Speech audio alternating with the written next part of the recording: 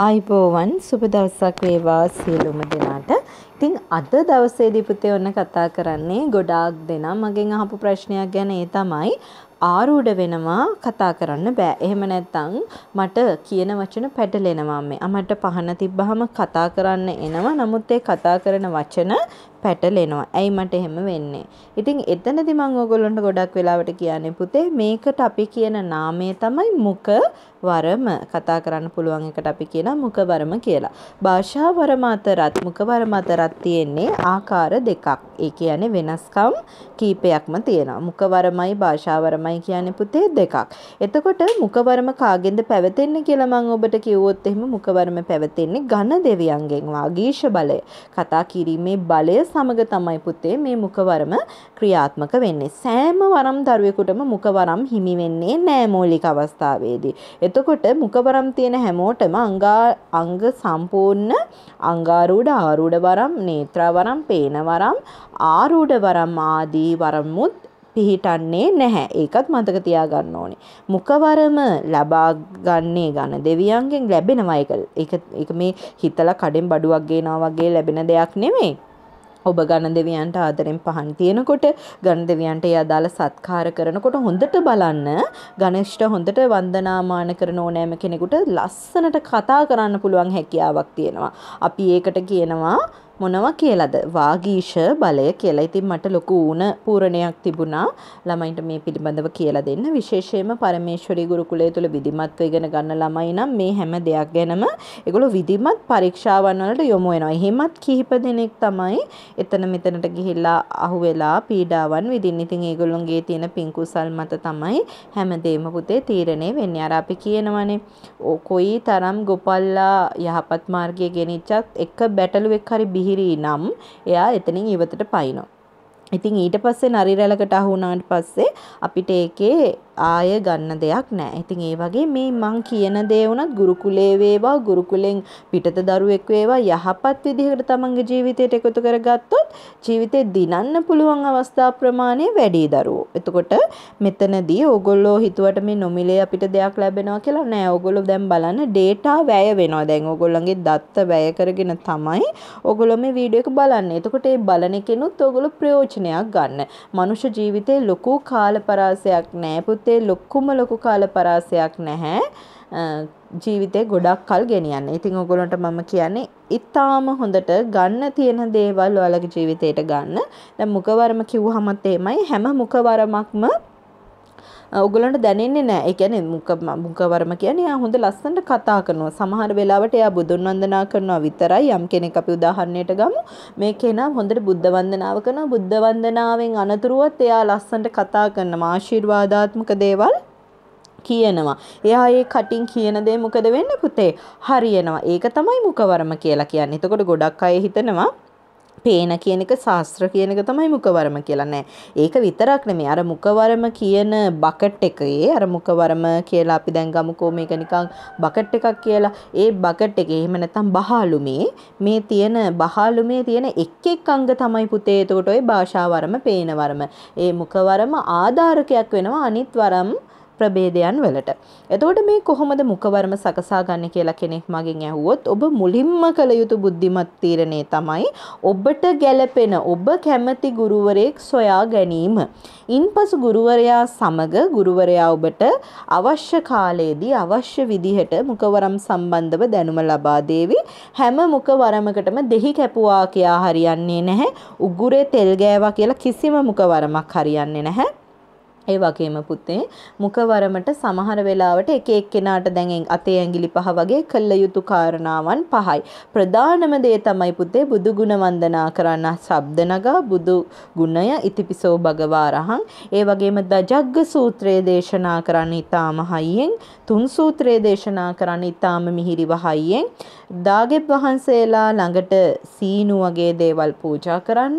ඒත් එක්කම ඔබ හොඳට මතක තියාගන්න. අනිවාර්යයෙන්ම ඔබ කළ යුතු දෙයක් තියෙනවා. ඒ තමයි ඝන දෙවියන්ව පහදවා ගන්න. ඝන දෙවියන්ට ආදරෙන් ගෞරවයෙන් සලකන්න. ඒ වගේම ඔබ කරන හැම පිනක්ම ඝන දෙවියන් ඉදිරියේ කියාපාලා ඒ පිනත් උන්වහන්සේට අනුමෝදන් කරලා ඔබේ මේ මුඛවරම බලවත් වේවා ගුණවත් වේවා කියන අදිෂ්ඨානය කරන්න. මොකද ඝන දෙවියෝ හරිම බලවත්. එතකොට මුඛවරමේ ඛණ්ඩන කොටස් තියෙනවා. මුඛවරමක් හිර වෙලා කියලා හඳුනගන්නේ.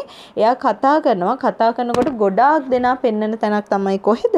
උගුර අල්ලලා පෙන්නනවා නේද? උගුර හිරයි කියලා නෑ. ඒක මනෝමූලිකව එන දෙයක්. මුඛවරම හිර වෙනවා දැනෙන්නේ නෑ. මුඛවරම හිර වෙනවා දැනෙන්නේ නෑ. එතකොට අර මං කිව්වා වගේ පුතේ මුඛවරම මොකද වෙන්නේ? හිර වුණා කියලා හඳුනා ගන්න බෑ. හැබැයි මෙන්න මෙහෙම පුළුවන් එයාලා ગાතා කියනකොට ગાතා වෙනදට වඩා පැටලිලි ස්වභාවයට ලක් වෙනවා. එතකොට මං කියන්නම් හිර වෙන්නේ කොහොමද කියලා. එතකොට එයාලා දැන් කතා කරනකොට එයාලා කතා කරන ප්‍රමාණය අඩුයි. වෙනදට වඩා අඩුයි. ඒ වගේම පණිවිඩ දැන් වෙනදට කියනවා නම් සොප්පත් වෙත්තා ඔබ නිදුක් වෙත්තා මෙන්න මේ ආකාරයෙන් පුතේ මෙන්න මෙහෙමයි බොහොම සිහිය තියෙද්දි එයාලා දිගට දිගට කතා කරනවා. නේද? දැන් මේ වරම හඳුනාගත්ත කෙනා එහෙමයි. වරම හඳුනා නොගත්ත කෙනා දැන් අර දිගින් දිගටම කතා කරනවා දැන් වරම හඳුනා ගත්ත කෙනා වරම හඳුනා නොගත්ත කෙනා මොකද කරන්නේ? දන්නේ නැහනේ. මුඛ වරම කියන දේ අවභාවිතා කරගන්නවා. ඒ කියන්නේ මොකද්ද? දැන් අද ගෙදරින් එළියට යනවා ආද නම් මට මොකක් හරි කරදරයක් සිද්ධ වෙනවා අප්පා කියාගෙන යනවා. දේනුනාද අනේ පුතේ අර දවස ඉවර වෙන්න කලින් එයාට විපතක් කරදරයක් වෙනවාම තමයි. ඒ හේතුව ඒ දරුවා දැනුවත් නැහැ. මට තියෙන්නේ මුඛවරමක් මේක කී සැනින් ඉෂ්ට වෙනවා. ගොඩාක් දෙනා මේකට කියනවා ආශිර්වාද වර්ම කියලා. කියන්නේ කෙනෙකුට සෙත් පතපුවාම කෙනෙකුට දෙයක් කිව්වහම ඒක වෙනවා කියලා. ඇත්තටම සමහරුන්ට ආශිර්වාද වරම පමණක් හිමි විනවරම හිමි නැහැ. ඒක යාළගේ සසරේ තියෙන කර්ම විපාක අනුව තමයි යාළන්ට ලැබිලා තියෙන්නේ. කියන්නේ ගොඩක් පිරිත් කියපු මිනිස්සු, ගොඩක් මිනිස්යන්ට හොඳ කියපු මිනිස්සු, එයාලට හොඳ දේ ලැබිලා තියෙනවා. හැබැයි තමන්ට වුණත් මේ වරම අනිත් පැත්තට කැරකෙනවා. ඒ තමයි තමන් තමන්ට හැම වෙලාවෙම කොහොමත් මේ වරම තිබුණත් නැතත් කිසිම මිනිසෙක් තමන් ගැන ඕනටට විවේචන කරගන්න එපා. තමන්ට බැනගන්න එපා. තමන්ට මෙහෙම වෙන්න ඕනි කියලා හිතන්න එපා. දෙස් දෙවල් තියාගන්න එපා. එතකොට ඒක මුඛවරම තිබුණත් නැතත් තමන්ට ඒක කැරකිලා එනවා. ඍණාත්මකවාදී නොවෙන්න ඕනේ. අසුභවාදී නොවෙන්න ඕනේ. ඊට පස්සේ මම ඔයගොල්ලන්ට කියන්නේ දැන් මේ මුඛවර්ම හඳුනා නොගත්තොත් ගැටලු වලට ලක් වෙනවා. හැබැයි ඔයගොල්ලන්ට අවස්ථා ලැබිලා ඇති මම කිව්ව දේ මුණානේ මම කිව්ව දේ මෙහෙම වුණානේ කියලා ගොඩක් දෙනාට කල්පනාවට එන වෙති දැන් මේ වීඩියෝ එක අහන ගමන් නේද? ඉතින් ඒ වගේ තමයි පුතේ හොඳට මතක තියාගන්න මුඛවරම් තියෙන හැම කෙනාම ආරූඪ වෙන්නේ නැහැ. ඔන්න ඔතනදී ඔයගොල්ලෝ පටල ගන්නවා. ඒ කියන්නේ ආ මුඛවරමක් තියෙනවා නම් ඔයගොල්ලෝ හිතනවා ආරූඪ වෙලා එයි දැන් නටාගෙන එයි දැන් පන්දන් අතට ගනි දැන් දෙහි ටික කපා ගනි දැන් පුහුල් කපයි නෑ නෑ නෑ වරම් වල ප්‍රභේද තියෙනවා වාක් ප්‍රභේශය ආක් ප්‍රභේශය කියලා කරුණු කාරණා කොටස් මූල දෙකකට මම උගන්වනවා. දැන් මේ දැන් මේ උගන්වන්නේ ඔයාලට මේ සම්පූර්ණ න්‍යායාත්මක පාඩමක් නෙවෙයි. තේරුණාද? දැන් මම ඔයගොල්ලන්ට මේ හැඳින්වීමක් තමයි කරන්නේ. වාක් සහ ආක් කියලා මම කියවනේ. ආක් කොටසට තමයි පුතේ ආරූඪය, අංගාරූඪය, ආකර්ෂණය කියන දේවල් යන්නේ. පේනමාලා, ශාස්ත්‍රමාලා කීම. එතකොට දැන් අර වාක් කියන කොටස කටින් කතා කරන මේ ඔබත් එක්ක මම කතා කරන්නේ. මේ හැම දෙයක්ම අදාළ වෙනවා අවසරයට. කතා කිරීමේ අවසරය මොකද්ද? මුක වරම. එතකොට මේක ලබා ගන්නයි කියලා තැන් තැන්වල බොරුවට බොරු දේවල් පස්සේ වැටිලා දඟලන්න එපා. ඒ ඇයි මෙන්න මෙහෙමයි. එක තරා එක්තරා තැනකින් මට ළමෙක් ඇවිල්ලා හිටියා. මේ ළමයා මට කිව්වේ අම්මේ මේ මුකවරම හදාගන්න මං අර කපු මහත්තයා කිව්ව විදිහට කුකුල්ලෝ අටක් මරන්න වෙන්නේ. අටක් නෙවෙයි නවයක්. නවයක් මං ඇයි අර කම්බිලි දෙයි හාමුදුරුවන්ට කුකුල්ලු නවේ දුන්නාන් පස්සේ තමයි කතා කරන්න පුළුවන්කම. මට හොඳට මතකයි ජායල පැත්තෙන් පිරිමි ළමෙක් ආව. ඒ ළමයා මට මේක කිව්වා. අවුරුදු දැනට එකහමාරක් විතර ඇති. ඇත්තටම මං හරිම කනගාටු වුණා. මේවා කරන අයත් ඇති කුකුල්ලෝ 8කගේ හෝ 9කගේ ගෙල කැඩුවා කියලා ඔයාලට කතා කරන්න පුළුවන් වෙන්නේ නැහැ. ඔයාලගෙන දේවතාවුන් වහන්සේට පුතේ කතා කරන්න පුළුවන් වෙන්නේ නැහැ. කවදා හරි මේ උතුම් බුදුරජාණන් වහන්සේ දේශනා කළ තියෙන ධර්මය අනුව ඔයාට සදහටම කතා කරන්න බැරි වෙයි. ඒ කියන්නේ වරමින් නෙමෙයි, මුඛවරමත් නෙමෙයි, සාමාන්‍යවත් කතා කරන්න බැරි වෙයි. ඒ හින්දා ඔය වගේ පව්කාර දේවල් කරන්න යන්න එපා. ඕන තරම් පින තියෙනවා, කුසලයේ තියෙනවා. ඒ දේවල් මනුෂ්‍ය භවයක් ලැබුවේම හැම මිනිහෙක්ම ගොඩක් පින්කාර නිසා. හැම මිනිහෙක්ම අද ඉන්න හේතුවාදියෙක් වෙලා ඉන්න මිනිහෙක් පවා හරි පිනට තමයි ලැබුවේ. ඉතින් ඒක භාවිතා කරන්න කියලා තමයි හැමෝටම මම කියන්නේ. මම අර කිව්වේ දෙවියන් උනත් අද හොඳයි ගොඩක් දෙනෙකුට හෙට නරකයි. ඒ ඒ මේ ශ්‍රී ලංකාවේ මිනිස්සුන්ගේ හැටියක්. අත් ගොඩාක් ඒ කියන්නේ ඉරිසියාව කියන දේ වැඩිනේ පුතේ. එතකොට අද හොඳ කෙනා හෙට නරක් වෙනවා. දැන් ගොඩක් බලන්නකො දරුවෝ ගුරුවරයාට මුල් කාලේ එහෙම නැත්නම් දෙමාපියන්ට බලන්නකො ගුරුවරයාව මුලට තියන්නේ නැතුව දෙමාපියන්ව ගමු. අනේ මගේ රත්තරන් අම්මා තාත්තා කියලා පොඩි කාලේ ඉඹිනවා වඳිනව නේද? ලොකු වුණාට පස්සේ ගිහිල්ලා දානවා කොහෙටද? මහලු මඩමට. එහෙම නැත්නම් පාරක් අයිනට. ඒ එහෙම කරන රටක ගුරුවරයාට බලන්න ගුරුවරයාත් එහෙම එනකොට අනේ මගේ බුදු ගුරු අම්මා. එහෙම නැත්නම් අනේ මගේ ගුරු පියාණන් දීර්ඝායුෂ ලැබෙන්න ඕනේ. ටික කාලයක් ගියාට පස්සේ මොකෙක් හරි මොන හරි කිව්වහම මොකද? හෙන ගහන්න ඕනේ. හැදි ගෑවෙන්න ඕනේ නේද? ඒ ඒ හැටි. ඒක එතකොට ඒක ගුරුවරුත් තේරුම් ගන්න ඕනේ. ගොඩක් ගුරුවරු කනස්සල්ලෙන් අහන ප්‍රශ්න මගෙත් එක තියෙන ගුරුවරුත් ඉන්නවා මා එක්ක කතා කරන. එතකොට මම කියන්නේ මම උපදේශන ඒගොල්ලන්ට දෙන්නේ සතුට කියන දේ තියෙන්නේ අපි ළඟ. ඒක කාගේවත් විවේචනයකින්ද කාගේවත් දොස් පරොස්සකින්ද නැති කරගන්න එපා. එතකොට මේ මුඛවරම කියන්නේත් ඒ වගේ දෙයක්. මුඛවරමත් පුතේ හොඳට නරකට දෙකට බලපානවා. ඒ කියන්නේ හොඳ මුඛව හොඳ මුඛවරම් වගේම ඒ කියන්නේ මුඛවරම භාවිතා කරනවා නරකටත් හොඳටත් ඒ කියන්නේ පලි ඉල්ලන්නත් හොඳට ඔයගොල්ලෝ ඇති යාදිනී යදිනවා යදිල්ලක් සමහර ළමයි ඒක කටටම එනවා. ඒක සසරේ හුරුව. ඒ වගේම සෙත් පතනවා සමහර අය ඒකත් කටට මෙනවා. හොඳට සෙත් කරන කෙනාට පලි ඉල්ලලා ගහන්න අමාරුයි. එහෙම එකකුත් තියෙනවා. ඒ ඒ ඒ ඒ මුඛවරම් වල සැකැස්ම පුතේ. ඒතර දැන් මේ වරම සකසා ගන්න ඕගොල්ලන්ට හැබැයි සමහර ඒවා ගුරුවරයාගේ අනුදැනුම අනුව දෙහි කපලේ කටයුතු කරනවා. හැබැයි ඔය උගුරට දෙහි 300ක් 400ක් කපලා එහෙම නැත්නම් දේවගැතිවරු උගුරේ නැගලා ඔය කරන්නේ විකාර. එහෙම නෙමෙයි. Tamanට මේක ශක්ති සම්ප්‍රේක්ෂණයක්. ඒ කියන්නේ පුතේ ආලෝකය. දැන් ඉර අපේ ඇඟේ ගෑ වෙන්නේ නැහැ ඇවිල්ලා නේද? ඒ වුණාට අපිට මොකද වෙන්නේ? ඉර එළිය වැටෙනවා සහ දැනෙනවා. හඳ එළිය දැනෙනවා අපිට.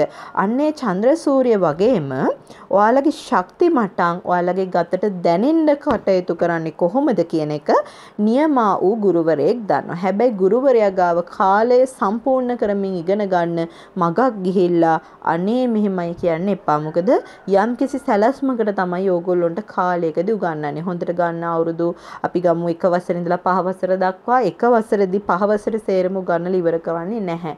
ඒ හින්දා ඉවසීමෙන් හොඳට ගුරුවරයෙක් හොයාගන්න එහෙන් මෙහෙන් කෑලි අහුල ගන්නවට වඩා ඒක යහපත් වේවි. නැත්නම් අපි ගමු ගුරුවරු පස් දෙනෙක් ඉන්නවා කියලා පස් දෙනා කියන්නේ ආකාර පහකට වෙන්න පුළුවන්. මොකද ඒගොල්ලොන්ගේ ජීවිත අත්දැකීම්, ඒගොල්ලොන්ගේ න්‍යායාත්මක දේවල්, ඒගොල්ලොන්ගේ ආධ්‍යාත්මික මනසෙන් එකතු කරගත්තු දේවල්, ඒගොල්ලෝ අංගාරූඩෙන් එකතු කරගත්තු ඒවා එකිනෙකට වෙනස් සහ පරස්පරයි. එතකොට ඒ පස් දෙනෙක්ගෙන් එකවර ඉගෙන ගන්න කෙනාට තමයි ඒ ඔක්කොම යන්නේ. එතකොට නිකන් අර මිශ්‍ර අච්චාරුවක් වගේ එක එක රස තමයි දැනෙන්නේ. සමහර වෙලාවට ඒවා හොඳ වෙන්න පුළුවන්. සමහර වෙලාවට ඒවා ආසාත්මිකතාවයන් වලට ලක් වෙන්න පුළුවන්. අන්න ඒ වගේ තමයි හැම ළමෙක්ම බුද්ධිමත් වෙන්න ඕනේ තමන්ගේ ගුරුන් තෝරා ගන්න. එතකොට මුඛවරම තුලත් අනිවාර්ය අංගයක් තමයි මොකද මුඛවරමෙන් තමයි වරමක් ආරම්භ වෙන්නේ. යා කතා කරන තැනින්. එහෙම නැතුව මම දැකලා තියෙනවා ගොඩක් ආරූඪ වෙන ළමයින්ට ගහනවා, බනිනවා. ඒ වුණාට ඒ ආරූඪ වෙච්ච පළියට මුඛවරම එන්නෙත් නැහැ.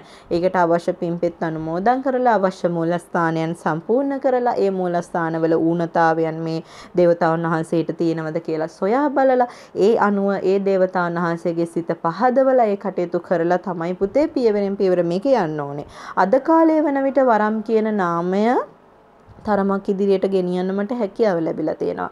ඒ හැකියාවම පුතේ ඔබටත් කරන්න පුළුවන් කොහොමද විධිමත්ව මේ ගමන් මග යන්න මේක මේක ශ්‍රී ලංකාවේ ඊටාම වටිනා දෙයක් පුහුණු කළ යුතු නිතර පුහුණු කළ යුතු සාර්ථකත්වයේ සඳහා යා හැකි ඉනි මගක් සහ රජවරු සිටුවරු පරණ හිටපු සියලූම දෙනා භාවිතා කලා වූ යම්කිසි ශේෂත්‍රයක් මේ නොපෙනෙන ලෝකයේ හෙවත් ගුප්ත විද්‍යාව. තොට මේක භාවිතා කරන්නන්ගේ අතේ තමයි තියෙන්නේ. මේක ලැජ්ජාවට අප කීර්තියට භාජනය නොකර ඉදිරියට අරයන එක. මුකවර මෙහෙමත් ඒ වගේ. දැන් මේවා දකිනකොට මිනිස්සු හිනාවෙන්නේ නැතිවෙන්න කටයුතු කරගන්න පුළුවන්. ඒ කියන්නේ අර්ථයක් තියෙන්න ඕනේ හැම දෙයකින්ම. සමහර කාලා තියෙනවා පුතේ මුකවරම සකසනවා. කිසිම විදියකින් පෙන්වන්නේ නැහැ. ඒ පෙන්වන්නේ නැත්තේ කල අය. ඒ ඒකත් වස් වදිනවා කියනවා වීමිටක් අරගෙන නොඉඳුල් කරලා ඒ වීමිට පිටි කොටලා කන්න එහෙම දෙනවා. ඒ පුරාණ විදිහට. එතකොට ආය ගොඩක් වෙලාවට මුකවරම දැඩිමුණ්ඩ දෙවි හාමුදුරුවන්ට කඩවර දෙවි හාමුදුරුවන්ට බාර කරනවා. ඉතින් දැන් අද කාලේ වෙනත් වෙනත් දේවල් අංග සහ ප්‍රදර්ශනාත්මක දේ වැඩි වෙනකොට පුතේ අර සත්‍ය මොකද්ද වෙන්නේ? යට යනවා. ඉතින් මුකවරම හදාගන්න ඕනි ඕනෑම කෙනෙකුට මම කියන්නේ දාගැප් වන්දනාවේදී අර මං කී කරුණු ටික කරන්න, ඝන දෙවියන්ව ඉතා හොඳින් පහදවා ගන්න. ඉතින් මේ මූලික හැඳින්වීම විදිහට මේ කටයුතු කාරණා කරන්න කරන්න ඒ වගේම ඉවසන්න. අද වරන් ඔබට බල පිහිටවාගෙන මේ වනම් බල පිහිටනවා කියන එකත් මම ඔබට ගන්නලා තියෙනවා. අද අවසරය අරගෙන හෙටම ඔබ කටයුතු කරන්න එපා. අපි කියමුකෝ මෙහෙම ඔබ ඔන්න පළවෙනි පන්තියට අද විදුහල්පතිගෙන් අවසරය අරගෙන ඇතුළුණා. ඔබ ඉගෙන ගන්න ඕනේ කාලයක්. එහෙම නැතුව ඔබ යම් යම් වෙනත් දේවල් කරන්න ගියොත් එහෙම ඔබව පාසලෙන් ඉවත් කරන්න උනත් පුළුවන්. ඒ වගේ තමයි මේ වරම අහෝසි වෙලා යන්න උනත් පුළුවන්. ඕන නැති දේවල් කරන්න එපා. එක ළමයි ළමෙක්ගේ දත කට ඔක්කොම තුවාල කරගෙන පතුරු ගහගෙන ආව මට මතකයි. මොකද මුඛ වරම හදාගන්න කියලා අමු අන්නාසි ගෙඩි තුනක්ද කොහෙද ඌට කන්න කියලා. ඇත්තටම හරිම පව්. ඇත්තට මට මට තරහට මම කිව්වා ඇයි ළමයා ඔක කරේ? මම බැන්නා. ඒ බැන්නේ හේතුව තමයි අර අමු අන්නාසි ගෙඩියත් ඇයි Tamanට ඥානය මෙහෙවන්න බැරි ළමයෝ? මේ කටයුතු කාරණාවන් වලදී මේ කියන මිනිස්සුත් අනදෙන මිනිස්සුත් ඇත්තටම අනුවණයි. මේවා ක්‍රියාත්මක කරන දරුවනුත් අනුවණයි. ඒ හින්දා තමයි මේ කටයුතු කියන්නේ. අහිම ටිකක් කල්පනා කරන්න. ඔබට ගල් කන්න කිව්වොත් ඔබ කනවද? මේ බලයක් හින්දා ඇයි මේ මෙච්චර තියෙන ලස්සන මනුස්ස ජීවිතය විනාශ කරගන්න හදන්නේ. සමහර වෙලාවට මුළු ඇඟ පතම අත ගන්නවා පිරිමි දරුවෙක් විසින්. පිරිමි අය විසින් ඇඟ පතම මුළු ඇඟ පතම අත ගහනවා. ඒවා බලාගෙන ඉන්න ස්වාමි පුරුෂයන්ට බලාගෙන ඉන්න සහෝදරයන්ට හොඳයි. අර ස්වාමි පුරුෂයන්ට උනත් හොඳ තැනකට ගෙනල්ලා කටයුත්තක් කරනකොට ඒක මාස 3ක් 4ක් යනකම් බලන් ඉන්න බෑ. පින් ටික කරලා ටිකක් කුසල් වඩාගෙන ඉස්සරහට යනකම් බලන් ඉන්න බෑ. මුළු ඇඟේම තෙල් ගාලා හරි මේක මොකෙක් හරි කමන්නේ වැඩ කරනවා නම් අපිට මේ බලය ගන්න කියනවා නම් ඒකට තමන්ගේ බිරිඳව ධම්මලා නිකන් ඉන්නවා. මම ඒක හොඳටම දැකලා තියෙනවා. අවසානයේදී කියනවා අනේ මෙහෙම වුණා මෙහෙමයි බොරුයි ඇත්තයි. අපිට හඳුන ගන්න බැරි වුණා. එතකොට වෙන්න ඕනි හැමදේම සිදුවි හමාරයි. ඉතින් මේ මුඛවරම ගැන තමයි ඔයගොල්ලන්ට මම පැහැදිලි කිරීමක් කළේ. මුඛවරමට සහ අනිත් හැම දෙයකටම මම මේ විදිහට වීඩියෝ දාලා තියෙනවා. ඉතින් ප්‍රඥාවන්ත නොවුනොත් කිසිම වරමක් ඔයගොල්ලන්ට ළඟා කරගන්න බෑ කියන දේ මම හොඳට කියනවා හෙමින් යන්න. හෙමින් යනකොට යන්න පුළුවන් දුර ගොඩයි. ඒ වගේම අනවශ්‍ය දේවල් අයින් කරලා අවශ්‍ය දේ තුල පිහිටන්න. ඊට පස්සේ ගොඩක් අය අහන දෙයක් තමයි මේ මුඛවරම් තියන අයට කෑම බීම තෝරලා කා යුතුද කියලා. මුඛවරම ඔබට තවත් පුදුම දෙයක් මම කියන්නම්. මේක ඔබේ උගුරේවත් කටේවත් බඩේවත් තියෙන දෙයක් නෙවෙයි. මේක ඔයගොල්ලන්ට ලැබෙන ශක්තියක් පුතේ. එතකොට මේ ශක්තිය ලබන්න ඔබේ ආධ්‍යාත්මික පිරිසිදුකම ඔයාගේ හදවතේ පිරිසිදුකම තියෙනවා නම් ඊටාම ප්‍රයෝජනවත් ඉක්මනින් ගුරුවරයෙක් හමු වෙලා ගුරුවරයත් එක්ක අඩියෙන් අඩිය අඩියෙන් අඩිය ඉස්සරහට යන්න. එතකොට මේ හැමදේම හරියයි. දැනට මූලික අවස්ථාවේ ඉන්න ළමයි දාගෙප් වන්දනාව පිරිත් සජ්ජායනය බුදුගුණ කීම හෙමින් කියන්න එපා. හොඳට සාමාන්‍ය මිහිරි ලෙස තමන්ගේ නිවසේදී ගායනා කරන්න. මේ හයියෙන් කියන්න කිව්වා කියලා පිරිසක් වඳින මැදක් මැදකට ගිහිල්ලා දාගැබ් වහන්සේලා ගාව බෝමලු ගාව හයියෙන් කෑ ගහන්න එපා. අන් අයට කරදරයක් වුණොත් පිනක් කරගන්න ගිහින් ඔබ අකුසලයක් රැස් කරගන්න බවත් මතක තියාගන්න. හොඳයි. එහෙනම් ආයෙත් හමුවෙමු. තෙරුවන් සරණයි ඔබ සියලුම දෙනාට. අපේ දිව්‍ය දුහිතරු 8 වෙනි වැඩසටහනට ඔබට පුළුවන් කමෙන්ට් එකක් දාන්න ඔබට තියෙන ප්‍රශ්නයක්. ඒ වගේම අට ඊළඟ වැඩසටහන දිවි දුහිතුරු 9 වෙනි වැඩසටහන ඔබ වෙනුවෙන් අපි දියත් කරනවා මේ එන සතියේ නොවැම්බර් 2 කලාපය ලෙස. එහෙනම් සමුගන්නම්. තෙරුවන් සරණයි. සුබ දවසක්.